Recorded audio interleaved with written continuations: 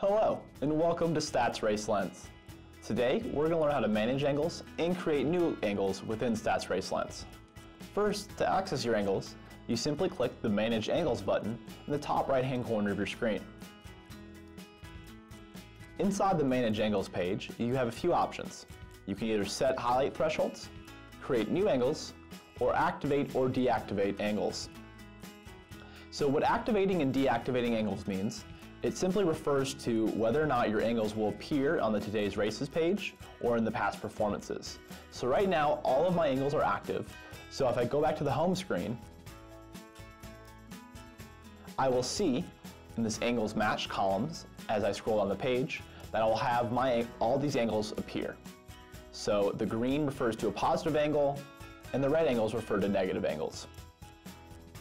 If I scroll back up and click Manage Angles, and then deactivate all of my angles, and click Save, and then go back to the home screen, I will see that all of these angles are gone, so none of my angles will appear. And then I'll reactivate all my angles again, because I actually like having them all there. The other option you have in the Manage Angles page is to set highlight thresholds. So that refers to whether these angles appear red, green, or neutral. So green, like I said before, uh, refers to good angles, red refers to negative angles, and neutral just is everything in between. So if I look at my highlight threshold here, for a positive angle, it must have a success score greater than or equal to 6 and an ROI greater than or equal to negative 5.1. For my negative angles, it's uh, less than or equal to a success score of 3 and an ROI less than or equal to negative 33%. So if I click save here, um, all my angles will appear like that, but I can change this however much I want. So let's say I want only the best angles to appear as a positive angle. What I can do is increase this by clicking the plus button. Let's say I want to make it 8. So we'll click to 8. And then I want to make my ROI just positive. So I can either, I can just type in 0 and then click Save. And you'll see that a lot of my angles that were green have now turned neutral. Same thing for red negative angles. Let's say I wanted only the worst of the worst angles to be red. I can lower this down to one, let's say one. Success score of one. And an ROI of let's say negative 50.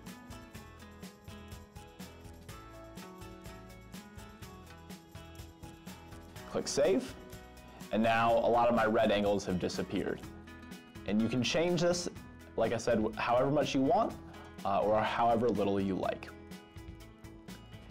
The final thing you can do in this page is create a new angle. So to do that, you simply click the Create a New Angle button in the top right-hand corner.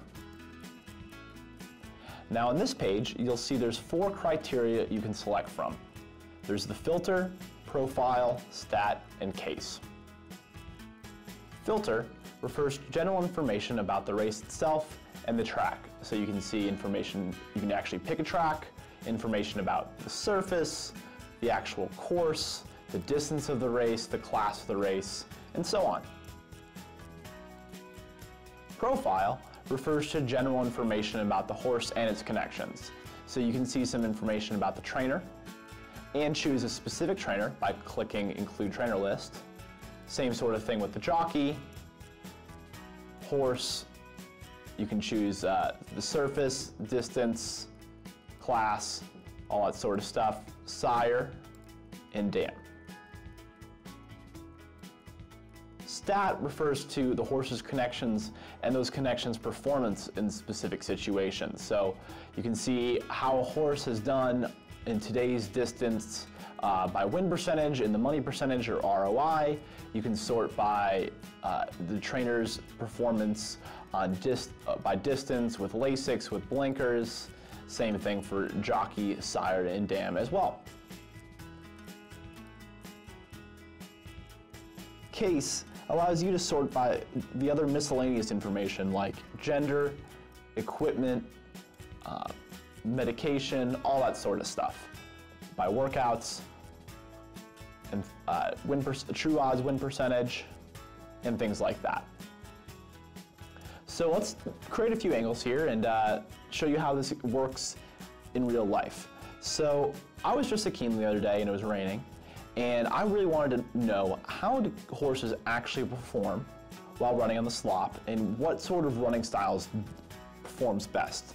So I wanted to find out how front runners perform on the at Keeneland. That was the specific one.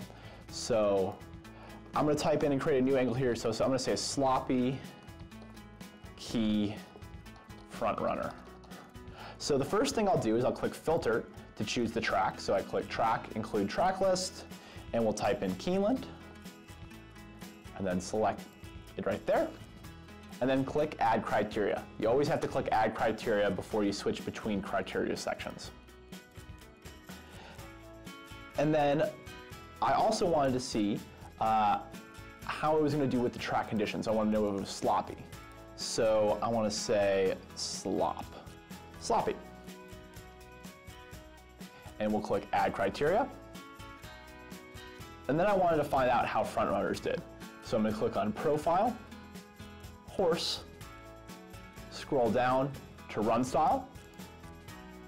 And then I'm going to say uh, on the lead at first call. So the horse just gets the lead right out of the gate. We'll click that, click add criteria. And now this is the angle. So we see at the top Keeneland, sloppy track, on the lead at first call. So now that it's named, I just click save. And then I want to see actually how it performs. So I'll click backtest and wait for it to calculate. When it calculates, you'll see in the top right-hand corner of your screen a little bell icon with a little number one pop up. Uh, that's the notification that your back test is completed.